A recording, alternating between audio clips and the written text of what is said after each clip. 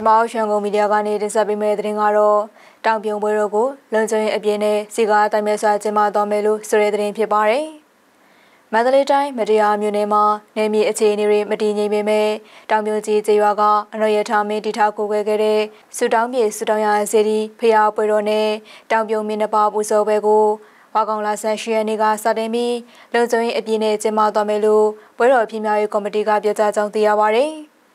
ဆိုင်ငံတဲ့ချိုတော်နေရာယူထားပြီးလုံနေကြပါပြီ။ကိုဗစ်ကာလတွေမှာလည်းပွဲတော်ကိုအကျဉ်းယုံပြီးကျင်းပခဲ့တော့2023ခုနှစ်ပွဲတော်ကိုပြန်လည်ကျင်းပတဲ့နှစ်မှာလည်းလူစီကားခဲ့ပါတယ်။တောင်ပြောနေမြေတဝိုင်းမှာတော့နေမြေအကျဉ်းပါတယ်။လက်ရှိတိုက်ပွဲဖြစ်နေတာတွေကမတရားမျိုးနဲ့မြောက်ဖက်ချမ်းကရွာတွေမှာပဲဖြစ်နေတာပါ။လုံစုံရေးအတွင်းစီအပြင်စီနှစ်ထပ်ချပြီးပွဲတော်ကိုကျင်းပသွားမှာပါလို့တာမြုံကြီးကျေးရွာပွဲတော်ပြင်းများရေးကော်မတီဥက္ကဋ္ဌဦးထေအောင်ကပြောတယ်လို့ဆိုပါရယ်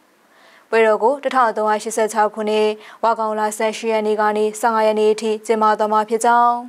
မင်းနပါနဲ့ပတ်သက်တဲ့ကရောခံပွဲစံနန်းတော်မင်္ဂလာရည်စင်စေပွဲမိလာခန်တပင်ချိုးရီတော်သုံးပွဲရုံထိုးပွဲထိန်ခုတ်ပွဲစတဲ့ရွေးရနှုတ်ပွဲတော်အစင်လာတွေအတိုင်းကျင်းပသွားမှာဖြစ်ကြောင်းသိရပါရရှင်